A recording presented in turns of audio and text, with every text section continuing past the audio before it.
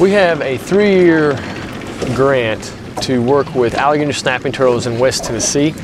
Uh, particularly, we're looking for distribution and population status. The federal government, the U.S. Fish and Wildlife in particular, has been trying to list these animals for the past couple years. And they have recently put out a call saying they need more information to make that decision. So this is part of this project is get the information in Tennessee several decades ago, there was few projects done in Middle Tennessee with this species, but not really uh, statewide, and in particular, not much done in West Tennessee, where we're hoping the, there's a stronghold hold for this species. Most of West Tennessee, most of the water is not really boat accessible, so a lot of times we just, we're, we're on pack mules. We carry the traps on our backs and the poles, and we carry them in, and we pack everything we need in and work the turtles up. Every step you sink two to three feet in the muck, so yeah, it's never easy. But you know, it's just, you do what you have to do to get the traps out in a, in a transect so you know that you're trapped in the area properly. And Garrick Dustin here can tell you that hiking 300 meters in muck up to your chest is a good workout. Talking about turtle fit, not CrossFit, turtle fit.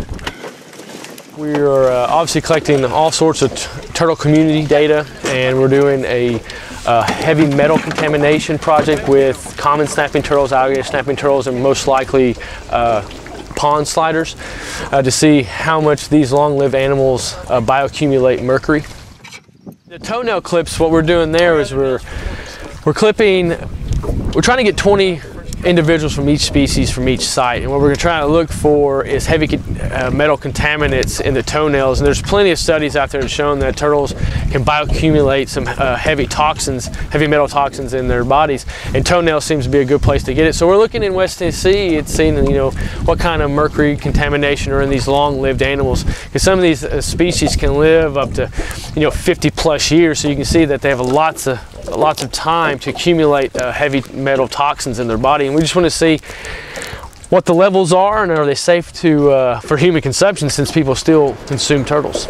Alligator snapping turtles are the largest freshwater turtle in the United States and North America. It's the only turtle in the world with a modified tongue, so it has an oral predatory lure that it uses to uh, lure in fish prey.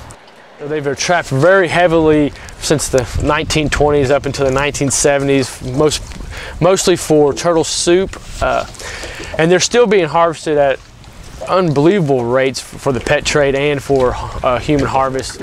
It's very hard to come back from being harvested heavily like that.